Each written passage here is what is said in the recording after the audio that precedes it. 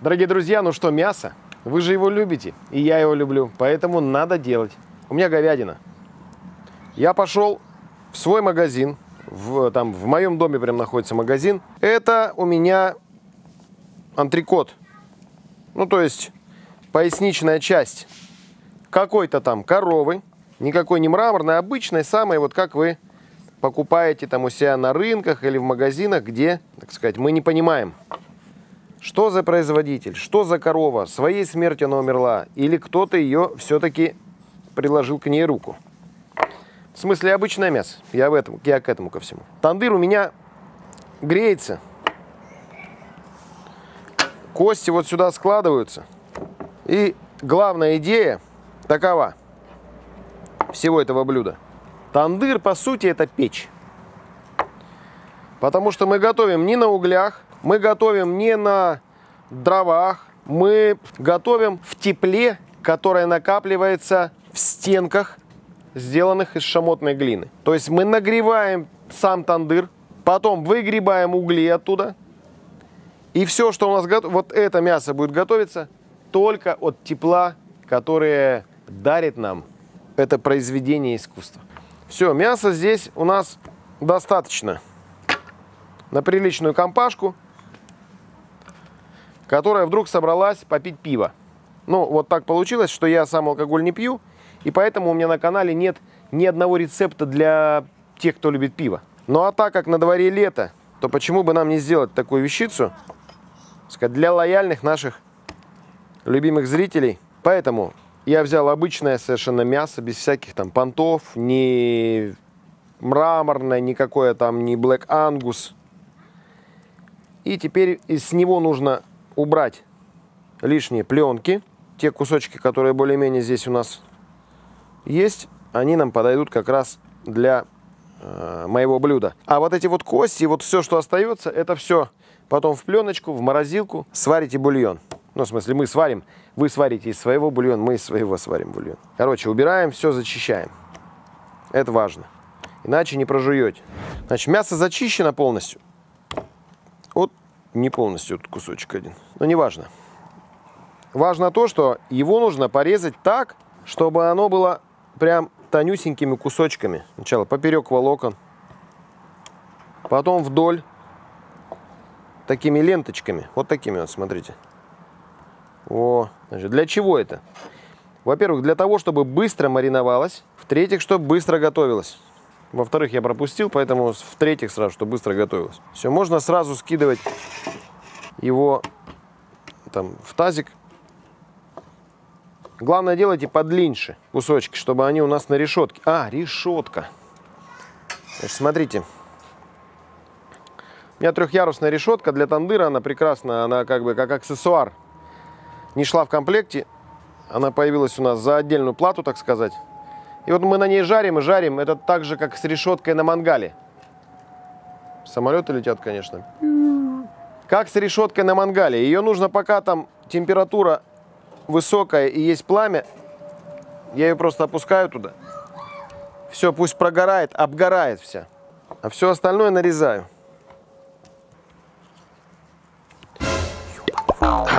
Острый нож.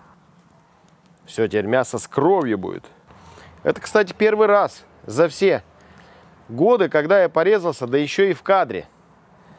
Э, порезался, правда, чуть-чуть, надрезал немножко кожу, но тем не менее, в маринаде будет моя кровь. Можно сказать, мясо с моей кровью. Впервые за почти за 4 года существования моего канала. Пару зубчиков чеснока.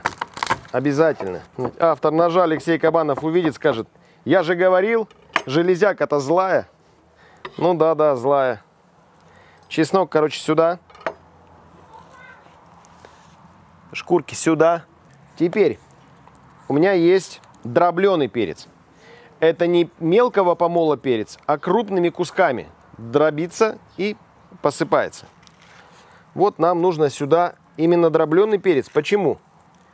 Потому что тема пивная должна быть яркая, вкусовая гамма такая хрустящая. Всегда вот э, во всевозможных джерки и так далее.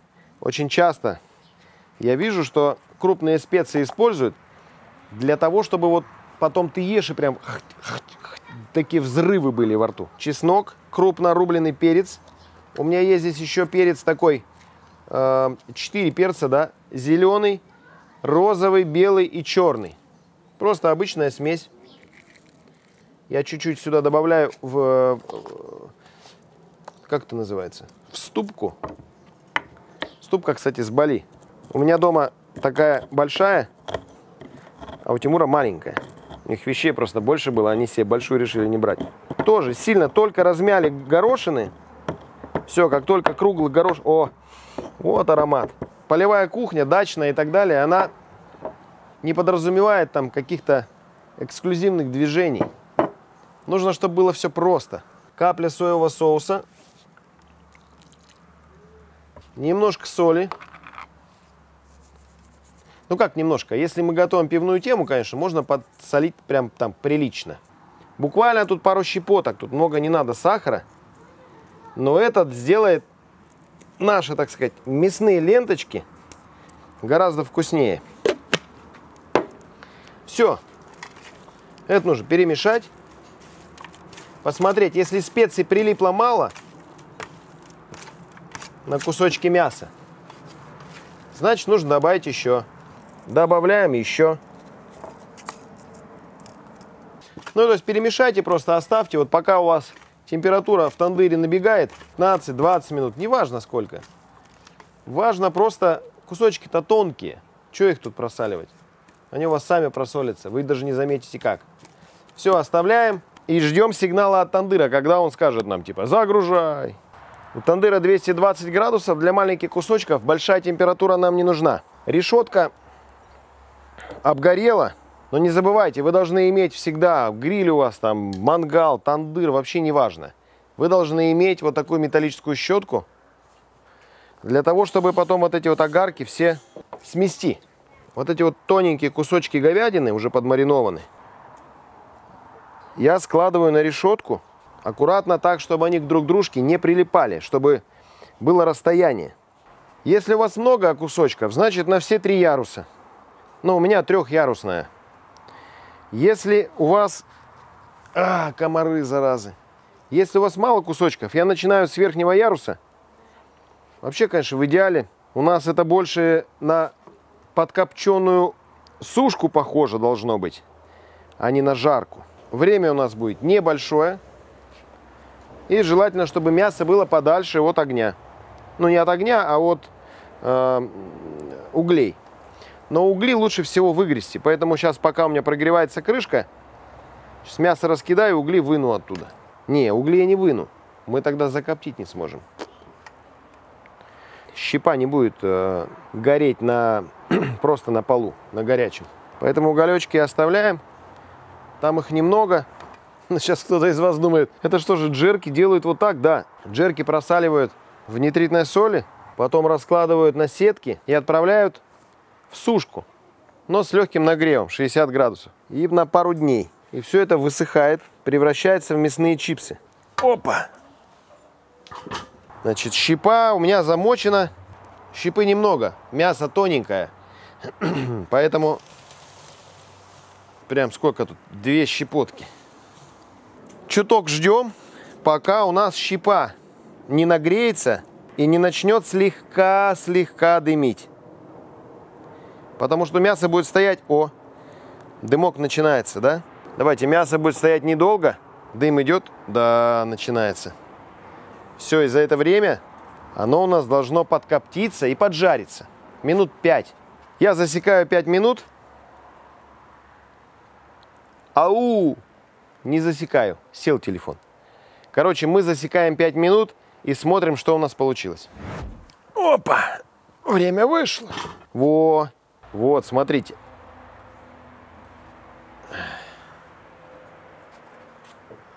Вот это я и планировал. Запах копчения есть. Крупные специи налипли.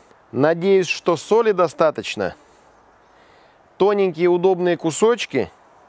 Если доски есть для подачи, на доску просто накидываете. Мужикам на стол, и они с, пив... с пивком. М -м -м.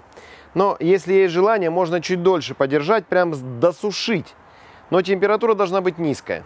Даже если оно будет слегка жестковато, ничего страшного. Потому что мясные чипсы, высушенные из магазина, они вообще жесть ведь. Жуете их, слюной размачиваете, жуете, жуете. Маслом не смазывал, масло не дает воде испаряться. А нам нужно, чтобы это немножко было подсохшее.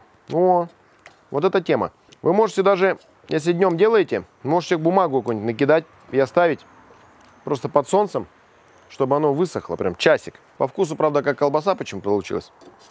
Я думаю, такой закуски не откажется ни один любитель пива. И даже я, как человек, который не любит пиво, ну, не пьет его, уверен, на 100% уверен, что если бы вокруг меня пили пиво, я бы просто сидел с ними и ел это вкусное мясо. Элементарно, просто, вкусно и подходит для всех слоев населения. Пока, дорогие друзья. Рекомендую.